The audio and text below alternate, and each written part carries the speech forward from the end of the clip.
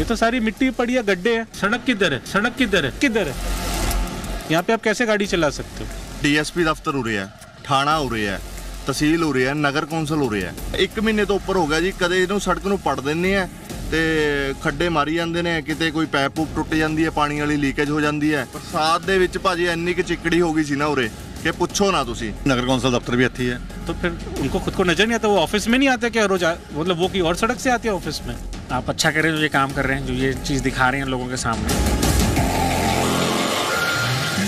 ਚੰਡੀਗੜ੍ਹ ਦੇ ਨਾਲ ਵਸਿਆ ਸਭ ਤੋਂ ਵੱਡਾ ਰੈਜ਼ੀਡੈਂਸ਼ੀਅਲ ਏਰੀਆ ਜਿਰਕਪੁਰ ਜਿੱਥੇ ਕਿ ਬਹੁਤ ਸਾਰੇ ਲੋਕ ਰਹਿੰਦੇ ਆ ਹਰ ਸਟੇਟ ਦੇ ਲੋਕ ਰਹਿੰਦੇ ਆ ਚੰਡੀਗੜ੍ਹ ਪੰਚਕੂਲਾ ਹਿਮਾਚਲ ਹਰਿਆਣਾ ਔਰ ਪੰਜਾਬ ਦੇ ਲੋਕ ਇੱਥੇ ਆ ਕੇ ਬਸੇ ਹੋਏ ਨੇ ਇੱਕ ਚੰਗਾ ਘਰ ਇੱਕ ਕਹੀਏ ਆਪਣਾ ਇੱਕ ਬਸੇਰਾ ਜਿਹੜਾ ਹੈਗਾ ਉਹਨਾਂ ਨੇ ਇੱਥੇ ਵਸਾਇਆ ਹੈਗਾ ਤਾਂ ਕਿ ਉਹ ਆਪਣੇ ਪਰਿਵਾਰ ਨਾਲ ਇੱਥੇ ਜੀ ਸਕਣ ਪਰ ਇਸ ਜਗ੍ਹਾ ਦੇ ਉੱਪਰ ਬਹੁਤ ਸਾਰੀਆਂ ਕਮੀਆਂ ਨੇ।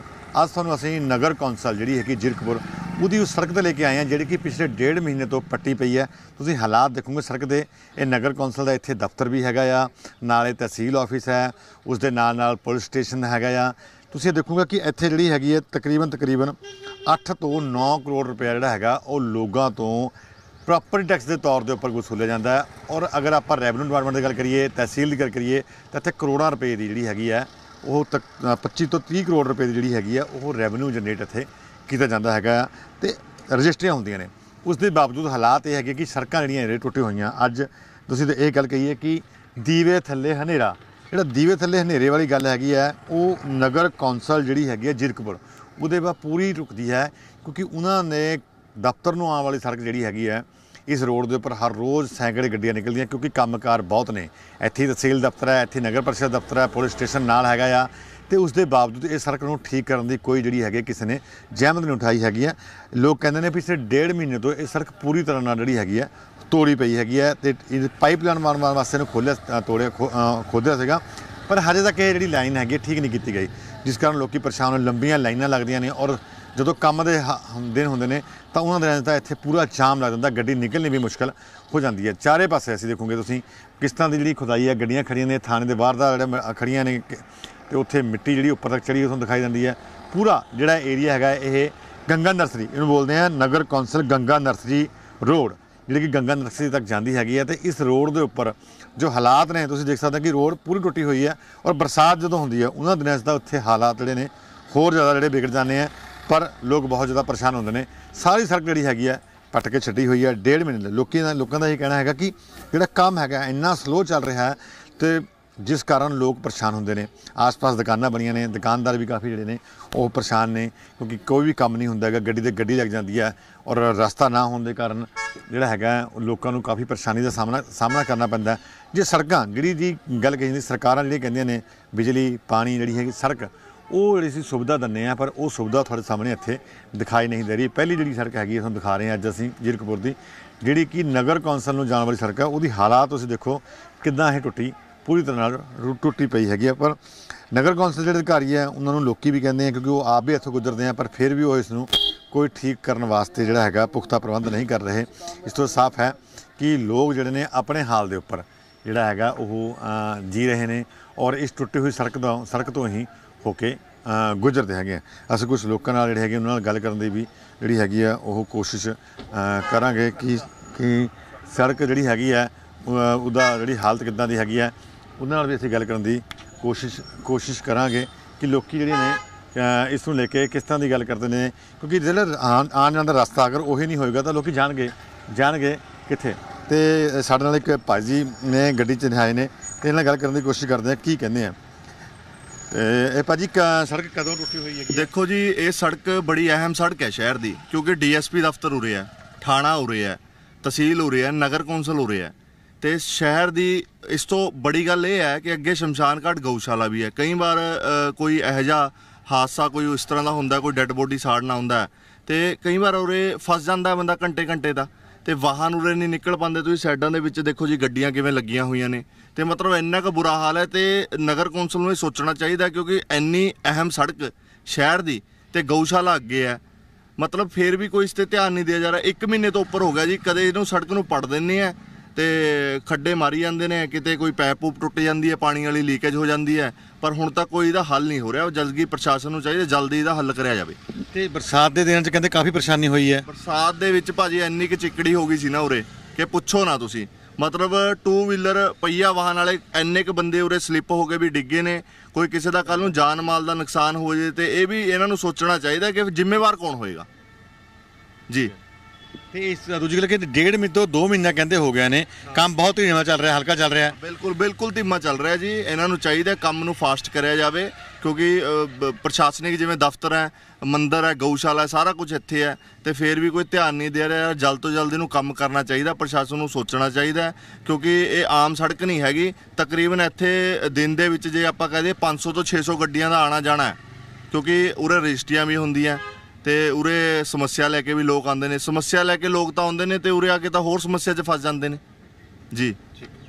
ਤੇ ਬਿਲਕੁਲ ਅ, ਤੁਸੀਂ ਦੇਖਿਆ ਕਿਸ ਤਰ੍ਹਾਂ ਜਿਹੜੇ ਲੋਕੀ ਨੇ ਉਹ ਪਰੇਸ਼ਾਨ ਨੇ ਦੱਸ ਰਹੇ ਨੇ ਕਿ ਕਿੰਨੀ ਅਹਿਮ ਸੜਕ ਹੈਗੀ ਹੈ ਇਹ ਪਰ ਉਸ ਦੇ ਬਾਵਜੂਦ ਇੱਥੇ ਜਿਹੜਾ ਹੈਗਾ ਕੋਈ ਵੀ ਦੇਖ ਰੇਖ ਨਹੀਂ ਹੋ ਰਹੀ ਲੋਕੀ ਜਿਹੜੇ ਨੇ ਪਰੇਸ਼ਾਨ ਹੈ। ਅਸੀਂ ਹੋਰ ਜਿਹੜੇ ਦੁਕਾਨਦਾਰ ਨੇ ਉਹਨਾਂ ਨਾਲ ਵੀ ਗੱਲ ਕਰਨ ਦੀ ਜਿਹੜੀ ਹੈਗੀ ਹੈ ਕੋਸ਼ਿਸ਼ ਅ, ਕਰਾਂਗੇ ਕਿ ਲੋਕੀ ਕਿਸ ਤਰ੍ਹਾਂ ਇੱਥੇ ਪਰੇਸ਼ਾਨ ਰਹਿੰਦੇ ਨੇ। ਦੇਖੋ ਤੁਸੀਂ ਗੱਡੀਆਂ ਜਿਹੜੀ ਉਹਨਾਂ ਦੀ ਚਾਲ ਹੈਗੀ ਹੈ ਬਹੁਤ ਜਿਹੜੀ ਚਾਲ ਹੌਲੀ ਚੱਲ ਰਹੀ ਹੈਗੀ ਹੈ ਤੇ ਇਹ- ਇਸ ਦਾ ਮਤਲਬ ਇਹ ਹੈ ਕਿ ਟੁੱਟੀ ਹੋਈ ਸੜਕ ਹੈ। ਸੜਕ ਟੁੱਟੀ, ਬੜੇ ਬੜੇ ਟੋਏ ਪਏ ਨੇ। ਅਗਰ ਤੁਸੀਂ ਠੀਕ ਵੀ ਕਰ ਰਹੇ ਹੋ ਤਾਂ ਉਸ ਨੂੰ ਤੁਸੀਂ ਕਿਸੇ ਤਰੀਕੇ ਨਾਲ ਪੱਧਰਾ ਕਰ ਸਕਦੇ ਆ। ਔਰ ਦੇਖੋ ਠੇਕੇਦਾਰ ਨੇ ਵੀ ਜੋ ਪੱਥਰ ਨੇ, ਜੋ ਸਮਾਨ ਹੈ ਉਹ ਇਸ ਤਰ੍ਹਾਂ ਹੀ ਜਿਹੜਾ ਤੁਹਾਨੂੰ ਛੱਡਿਆ ਹੋਇਆ ਦਿਖਾਈ ਦਿਖਾਈ ਦਿੰਦਾ ਹੈਗਾ। ਤੇ ਕਾਫੀ ਜਿਹੜੇ ਲੋਕਾਂ ਦੇ ਨਾਲ ਗੱਲ ਵੀ ਕਰਨ ਲੱਗੇ ਕਿ ਕੀ ਕਹਿੰਦੇ ਹੈਗੇ ਨੇ। ਤੇ ਇਸ ਦੇ ਨਾਲ ਤੁਸੀਂ ਦੇਖਣਾ ਵੀ ਜੋ ਸਮਾਨ ਹੈਗਾ, ਭਾਵੇਂ ਖੁਦਾਈ ਕਰ ਲਈ ਹੈਗੀ ਹੈ, ਪਰ ਜਿਹੜੀ ਰੋਡ ਹੈ ਉਹ ਸਾਫ਼ ਹੋ ਸਕਦੀ ਸੀਗੀ। ਉਸ ਨੂੰ ਵੀ ਜਿਹੜਾ ਹੈਗਾ ਉਹ ਸਾਫ਼ ਅ, ਨਹੀਂ ਕੀਤਾ ਗਿਆ ਹੈਗਾ ਪਰ ਇਸ ਤੋਂ ਇਹ ਗੱਲ ਸਾਫ਼ ਹੈ ਕਿ ਪੂਰੀ ਜਿਹੜੀ ਸੜਕ ਹੈਗੀ ਹੈ ਉਹ ਲੋਕਾਂ ਵਾਸਤੇ ਜਿਹੜੀ ਹੈਗੀ ਹੈ ਪਰੇਸ਼ਾਨੀ ਦਾ ਕਾਰਨ ਜਿਹੜੀ ਹੈ ਅ, ਬਣੀ ਹੋਈ ਹੈਗੀ ਹੈ ਤੇ ਕਿਸ ਤਰ੍ਹਾਂ ਜਿਹੜੀ ਹੈਗੀ ਠੀਕ ਹੋ ਗਈ ਸੜਕ ਇਹ ਇਹ ਪਤਾ ਨਹੀਂ ਹੈਗਾ ਪਰ ਡੇਢ ਦੋ ਇੱਕ ਮਹੀਨਾ ਡੇਢ ਮਹੀਨਾ ਜਿਹੜਾ ਹੋ ਗਿਆ ਉਹ ਦੱਸਣ ਦਾ ਕਿ ਲੋਕ ਕਾਫੀ ਇੱਥੇ ਪਰੇਸ਼ਾਨ ਤੁਹਾਨੂੰ ਅ, ਦਿਖਾਈ ਦਿੰਦੇ ਨੇ ਕੀ ਨਾ ਭਾਈ ਤੁਹਾਡਾ सुमिता जी सुमित ਰੋਡ ਕਦੋਂ ਖਰਾਬ ਹੈ ਇਹ सर एक्चुअली मैं तो 46 में रहता हूँ चंडीगढ़ में मैं तो अभी आए बड़ा परेशान हो रखे हैं यहाँ पे तो बहुत आने जाने की बड़ी दिक्कत हो रही है सर ਕਾਫੀ ਦਿੱਕਤ ਹੋ हाँ जी हाँ जी वैसे रहते हैं हम यहीं पे हैं चंडीगढ़ में आते जाते रहते हैं यहाँ पे जैसे कोई काम कुम होता है तो बड़ी एमसी का ऑफिस भी यहाँ पे हाँ जी हाँ जी हाँ जी फिर भी ठीक नहीं है क्योंकि एमसी सारे ठीक शहर को ठीक करते बड़ा ढीले काम है सर पंजाब गवर्नमेंट के बहुत ही यहाँ पे नहीं है सर हर जगह है वहाँ पे आप विक्टोरिया की तरफ चले जाओ उधर तो बड़े गड्ढे हैं रोडों पे बहुत बुरा हाल है हैं विक्टोरिया हाँ जी हाँ जी विक्टोरिया इंक्लेव इस साइड ਕਿ ਜੀਰਕਪੁਰ 'ਚ ਜਿਹੜੀਆਂ ਸੜਕਾਂ ਨੇ ਉਹ ਟੁੱਟੀਆਂ ਹੋਈਆਂ ਜ਼ਿਆਦਾ ज़्यादा टूटी हुई हैं बहुत पार्किंग का ही बहुत बुरा हाल है बहुत बुरा ਜ਼ਿਆਦਾ ਸੜਕਾਂ ਜਿਹੜੀਆਂ ਨੇ ਉਹ ਟੁੱਟੀਆਂ ਹੋਈਆਂ ਜਿਹੜੀਆਂ ਦਿਖਾਈ ਅ, ਦਿੰਦੀਆਂ ਨੇ ਤੇ ਤੇ ਭਾਜੀ ਕਿੱਦਾਂ ਸੜਕ ਟੁੱਟੀ ਹੋਈ ਕਿਸ ਤਰ੍ਹਾਂ ਦੇਖਦੇ ਆ ਵੀ ਥੋੜੀ ਕਦੀ ਕੁ ਟੁੱਟੀ ਹੈ ਇਹ सड़क किधर है किधर है ये तो सारी मिट्टी पड़ी है गड्ढे हैं यहाँ पे आप कैसे गाड़ी चला सकते हो यहाँ पे अगर बारिश का मौसम हो रात का समय हो एक्सीडेंट होगा नॉर्मल पब्लिक को ही भुगतना पड़ेगा उन्हीं के ऊपर जान हानि जान हानि होगी उन- चोट लगेगी हॉस्पिटल जाएंगे सरकार को क्या है? आके देखो भैया फिक्स करो इसको लोग तो मकान तो बहुत नहीं लेकिन नगर कौंसल दफ्तर भी अच्छी है। तो फिर उनको खुद को नज़र नहीं आता वो ऑफ़िस में नहीं आते क्या रोज मतलब वो की और सड़क से आते हैं ऑफ़िस में? जो जो ऑफिशियल है नगर निगम के वो आए सड़क इसी सड़क से निकलते उनको मालूम नहीं पड़ते इसकी हालत के कितने दिन तो खर खराब है हाँ जी पता नहीं तो सालों से ख़राब है। भारत की डेवलपमेंट है ये इसका एग्ज़ाम्पल है तो अब भेजिए सरकार को। भारत की डेवलपमेंट में फिर बड़े बड़े शहर नहीं छोटे छोटे गाँव भी डेवलप होने चाहिए। ये आपके सामने प्राइमरी एग्ज़ाम्पल है। देखो यहाँ से हर रोज़ कितने लोग आ रहे हैं जा रहे हैं और ये बहुत ही डेंजरस है लोगों को इसमें चोटें लग सकती हैं जान जा सकती है लोगों की ये तो बहुत ही आप अच्छा करें जो ये काम कर रहे हैं जो ये चीज़ दिखा रहे हैं लोगों के सामने हम तो ये डिस्कस कर रहे थे आज की देखो ये हालत कितनी कितनी बद बद से बदतर है ये बट इसके बारे में कोई कुछ करता क्यों नहीं I think that is very good you doing a good job ਭਾਜੀ ਸੜਕ ਦੀ ਕਿੰਨੀ ਕੁ ਦੇਰ ਤੋਂ ਟੁੱਟੀ ਹੋਈ ਸੜਕ ਇਹ ਤੁਹਾਨੂੰ ਲੱਗਦੀ ਹੈਗੀ ਹੈ ਹੋ ਗਏ 15 20 ਦਿਨ ਹੋ ਗਏ ਜੀ ਜਿਹੜਾ ਇਹ ਕੰਮ ਚੱਲ ਰਿਹਾ ਜੀ। ਅੱਛਾ ਪੂਰੀ ਸੜਕ ਦਾ ਕਿੰਨੇ ਦਿਨ ਤੋਂ ਚੱਲ ਰਿਹਾ ਹੋਊਗਾ? ਡੇਢ ਮਹੀਨਾ ਹੋ ਗਿਆ? ਹੋ ਗਿਆ ਜੀ। ਹਾਂਜੀ ਡੇਢ ਮਹੀਨਾ ਹੋ ਗਿਆ ਜੀ। ਤੇ ਕੀ ਹਾਲਤ ਹੈ ਕਿ ਠੀਕ ਹੋਣੀ ਬਹੁਤ ਚਾਹੀਦੀ ਹੈ? ਹੋਣੀ ਚਾਹੀਦੀ ਸਰ ਠੀਕ ਹੈ ਜੀ। ਦੁਕਾਨ ਕਰਦੇ ਇੱਥੇ? ਹਾਂਜੀ ਮੇਰੀ ਸ਼ੋਪ ਹੈ ਜੀ। ਕਾਫੀ ਦਿਨ ਹੋ ਗਏ ਜੀ ਬਹੁਤ ਬੁਰਾ ਹਾਲ ਹੈ ਜੀ। ਲੋਕਾਂ ਨੂੰ ਬਹੁਤ ਦਿੱਕਤ ਦਾ ਸਾਹਮਣਾ ਕਰਨਾ ਪੈ ਰਿਹਾ ਜੀ। ਇਹ ਤਾਂ ਨਗਰ ਕੌਂਸਲ ਨੂੰ ਜਾਣ ਵਾਲੀ ਦਫ਼- ਸੜਕ ਇਹਦੀ ਹੈ ਬੁਰੀ ਹਾਲਤ ਹੈ। ਬਹੁਤ ਬੁਰਾ ਹਾਲ ਹੈ ਜੀ। ਬਿਲਕੁਲ ਮਿਲਕੀ ਲੋਕੀ ਜਿਹੜੇ ਨੇ ਉਹੀ ਗੱਲ ਕਹਿੰਦੇ ਨੇ ਕਿ ਸੜਕ ਜਿਹੜੀ ਹੈ ਬਹੁਤ ਬੁਰੀ ਹਾਲਤ ਹੈ ਤੇ ਦੂਰ ਤੱਕ ਤੁਸੀਂ ਦੇਖੋਗੇ ਨਾ, ਵੀ ਸਭ ਤੋਂ ਵੱਡੀ ਗੱਲ ਤਾਂ ਇਹੀ ਹੈ ਕਿ ਜੇ ਸੜਕ ਪੱਟੀ ਵੀ ਹੈਗੀ ਇੱਕ ਸਾਈਡ ਨੂੰ, ਤੇ ਜਿਹੜਾ ਦੂਜਾ ਪਾਸਾ ਹੈਗਾ, ਉਹ ਵੀ ਸਾਫ਼ ਨਹੀਂ ਕੀਤਾ ਗਿਆ ਹੈਗਾ ਤੇ ਸਾਫ਼ ਨਾ ਕਰਨ ਦੇ ਕਾਰਨ ਜਿਹੜੇ ਨੇ ਲੋਕ ਅੱਗੇ ਆ ਕੇ ਜਿਹੜੇ ਨੇ ਪਰੇਸ਼ਾਨ ਹੁੰਦੇ ਨੇ ਤੇ ਇਸ ਦੇ ਵਿੱਚ ਇਹੀ ਗੱਲ ਆਉਂਦੀ ਹੈ ਕਿ ਅਫਸਰ ਜਿਹੜੇ ਨੇ, ਲੋਕੀ ਵੀ ਕਹਿੰਦੇ ਨੇ ਅਫਸਰ ਜਿਹੜੇ ਨੇ, ਉਹ ਆਪਣੇ ਦਫ਼ਤਰਾਂ 'ਚ ਤਾਂ ਆਉਂਦੇ ਨੇ, ਇਸੇ ਸੜਕ ਨੂੰ ਹੋ ਕੇ ਜਾਂਦੇ ਆ, ਪਰ ਉਹਨੂੰ ਠੀਕ ਕਰਨ ਦੀ ਜਿਹੜੀ ਹੈਗੀ ਹੈ, ਕੋਈ ਵੀ ਜਹਿਮਤ ਦੁਕਾਨ ਦੇ ਅੱਗੇ ਦੇਖੋ ਤੁਸੀਂ ਕਿਸ ਤਰ੍ਹਾਂ ਨਾਲ ਜਿਹੜੀ ਹੈਗੀ ਹੈ ਮਿੱਟੀ ਪਈ ਹੈ, ਦੁਕਾਨ ਦੁਕਾਨ ਦੇ ਅੱਗੇ ਦੁਕਾਨ ਹੈ ਇੱਥੇ ਵੀ ਜਿਹੜੀ ਮਿੱਟੀ ਖੋਦ ਕੇ ਇੱਥੇ ਇਕੱਠੀ ਕਰੀ ਹੈ, ਇਹ ਵੀ ਨਹੀਂ ਚੱਕੀ ਗਈ ਥੱਲੇ ਦੇਖੋਗੇ ਤੁਸੀਂ, ਸਾਰੀ ਮਿੱਟੀ ਦੁਕਾਨ ਦੇ ਅੱਗੇ ਪਈ ਹੈਗੀ ਹੈ ਛੋਟੀ ਛੋਟੀ ਦੁਕਾਨਾਂ, ਕਿਸੇ ਕੋਈ ਵਕੀਲ ਨੇ, ਕੋਈ ਐਸੇ ਕੁਝ ਕਿਸ ਤਰ੍ਹਾਂ ਕੰਮ ਕਰਦੇ ਨੇ, ਪਰ ਉਹਨਾਂ ਦੇ ਅੱਗੇ ਵੀ ਜਿਹੜੀ ਮਿੱਟੀ ਨਹੀਂ, ਇੱਥੋਂ ਚੱਕੀ ਗਈ ਹੈਗੀ ਹੈ। ਦੀਵੇ ਥੱਲੇ ਹਨੇਰੇ ਵਾਲੀ ਗੱਲ ਸਮਝੀ ਹੈ, ਤੇ ਇਹ ਸਾਬਤ ਹੁੰਦਾ ਕਿ ਨਗਰ ਕੌਂਸਲ ਜਿਹੜੀ ਹੈ, ਉਹਦੇ ਦਫ਼ਤਰ ਨੂੰ ਜਾਣ ਵਾਲੀ ਜਿਹੜੀ ਸੜਕ ਹੈ, ਉਹਦੀ ਬੁਰੀ ਹਾਲਤ ਹੈਗੀ ਹੈ, ਇਹ ਗੱਲ ਸਾਬਤ ਕਰਦੀ ਹੈ ਕਿ ਦੀਵੇ ਥੱਲੇ ਹਨੇਰਾ ਜੀਰਕਪੁਰ ਤੋਂ ਦਿਖਾਈ ਦੇ ਰਿਹਾ ਹੈਗਾ। ਪਰ ਲੋਕ ਪਰੇਸ਼ਾਨ ਨੇ।